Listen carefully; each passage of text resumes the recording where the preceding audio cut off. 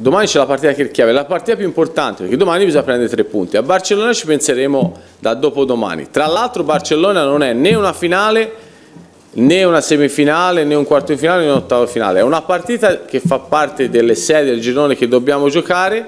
Un girone secondo me dove, prima cosa, l'obiettivo è passare il turno come sempre perché abbiamo visto che siamo arrivati il primo anno, secondo e siamo andati in finale eh, il terzo anno siamo arrivati ai primi e siamo arrivati, e siamo arrivati in finale, quindi arrivare ai primi e secondi puoi avere forse qualche vantaggio eh, nel sorteggio perché magari puoi prendere una seconda un pochino più debole, ma è anche vero come è successo quest'anno che ci sono tante seconde che hanno preso delle prime più deboli che ci sono dei gironi molto più, più semplici, quindi noi bisogna concentrarsi sul passaggio del turno che è l'obiettivo, bisogna fare diversi punti, credo che 9 punti per passare il girone basteranno.